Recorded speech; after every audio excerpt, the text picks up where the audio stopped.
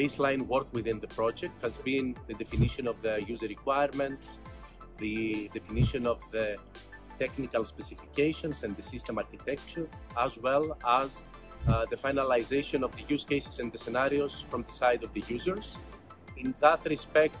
this also signals the initialization of the development work of uh, iFlow's tools, which are aiming to improve the detection and scanning capabilities in terms of uh, postal and courier service flows. Within iFlows, we have a number of uh, uh, scanning and detection systems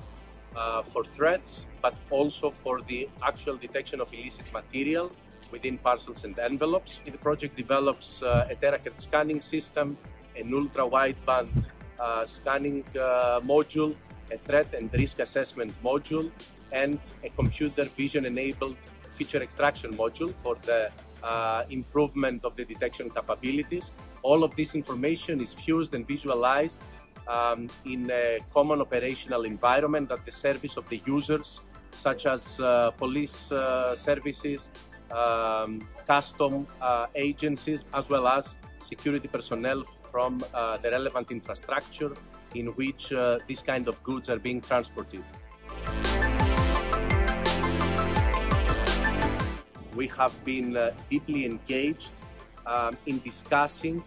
uh, what will be the prioritization of threats, the prioritization of illicit material that we would like to tune our uh, detection modules. To this end, we have not only identified the next uh, steps of the development plan, but we have also identified uh, the challenges and a way to overcome them in the next uh, year to come.